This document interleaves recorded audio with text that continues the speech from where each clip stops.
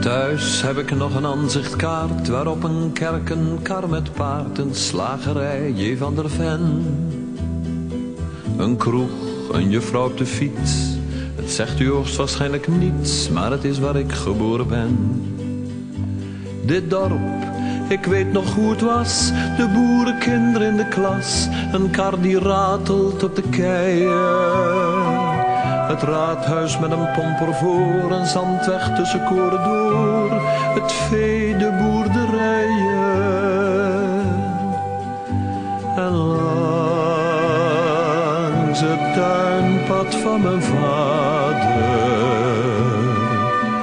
zag ik de hoge bomen staan. Ik was een kind en wist niet beter nooit voorbij zou gaan.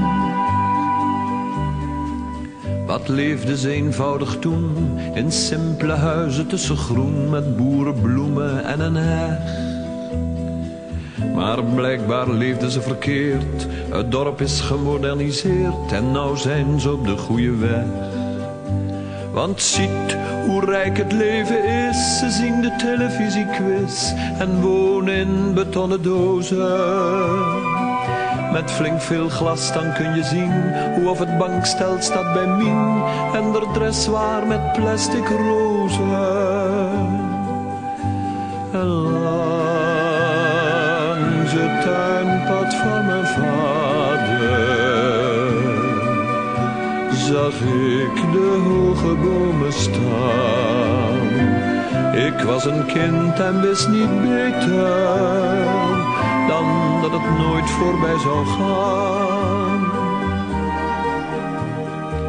De dorpsjeugd klit wat bij elkaar in minirok en bietelhaar en joelt wat mee met beatmuziek. Ik weet wel, het is hun goede recht, de nieuwe tijd, net wat u zegt maar het maakt me wat melancholiek.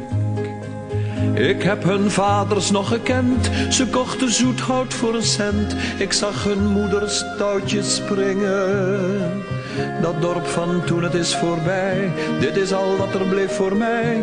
Een aanzicht en herinneringen. Toen ik langs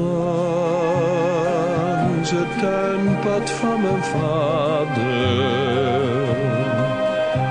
de hoge bomen nog zag staan.